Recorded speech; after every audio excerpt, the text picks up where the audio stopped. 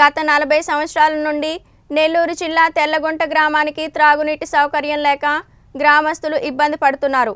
అయితే ఎలాగైనా ఈ సమస్య పరిష్కరించవాలనే ఉద్దేశంతో ఈరోజు జరుగుతున్న ఎంపీటీసీ జెడ్పీటీసీ గ్రామస్తులు ఎన్నికలను బహిష్కరించారు. విషయం తెలుసుకున్న కావలి ఆర్డీఓ శ్రీనివాసులు సంఘటన స్థలానికి చేరుకుని గ్రామస్తులతో మాట్లాడి గ్రామస్తులను చైతన్యపరిచి వాటి యొక్క ఉపయోగాన్ని చెప్పి అలాగే వారికి ఇరవై ఐదు లక్షల రూపాయలను మంచినీటి కోసం నిధులు శాంక్షన్ చేస్తామని తెలిపారు. ఎన్నికల కోడ్ ముగిసిన వెంటనే ఈ గ్రామానికి శాశ్వత పరిష్కారం తీసుకుని వస్తానని హామీ ఇచ్చారు.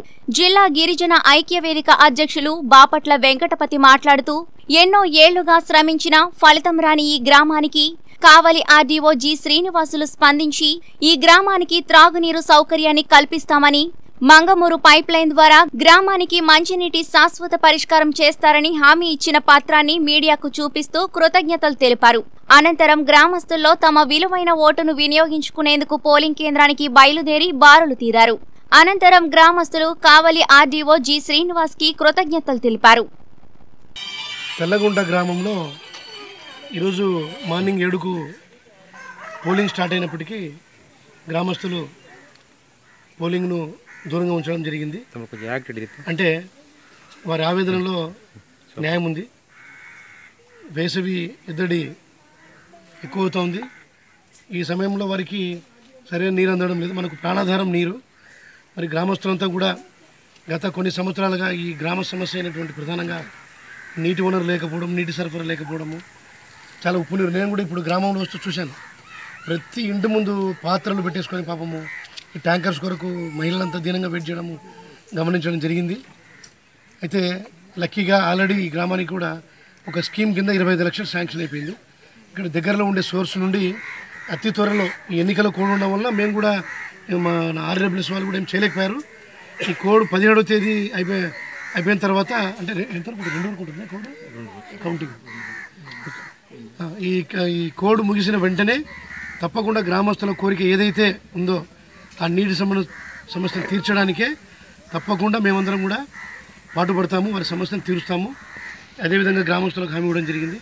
గ్రామస్తులు కూడా అధికారులను మన్నించి జిల్లా కలెక్టర్ గారి మీద గౌరవంతో ఓటు వేయడానికి తమ ఓటును ఉపయోగించుకోవడానికి పెద్దలు వెంకన్న గారు మరియు నాయకులతో సమక్షంలో హామీ ఇవ్వడం జరిగింది.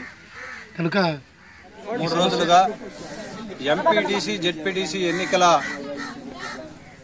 టైంలో ఈరోజు ఈ గ్రామంలో ఈ బూత్లో ఎంపీటీసీ జెడ్పీటీసీ ఎన్నికలు జరుగుతూ ఉంది.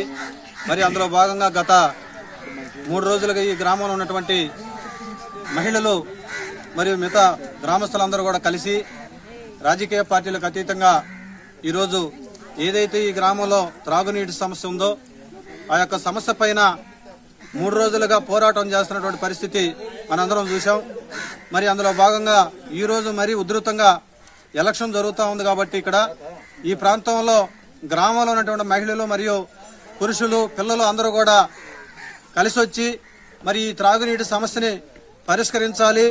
దీనికి న్యాయమైనటువంటి కోరిక తీర్చాలి.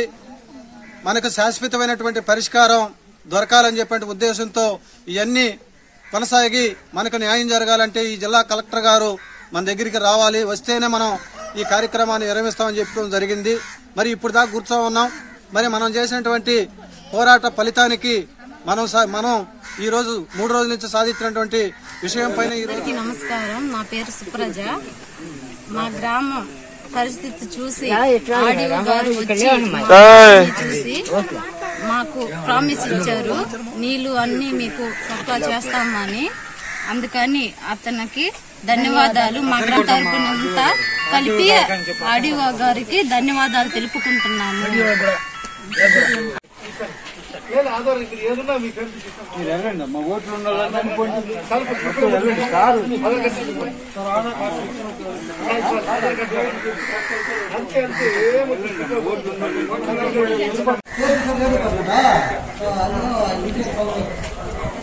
నెంబర్ కావాలంటే నెంబర్ టక టక టక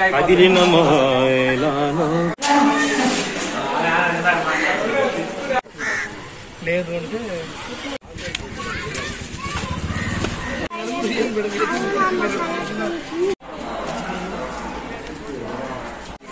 అవును సార్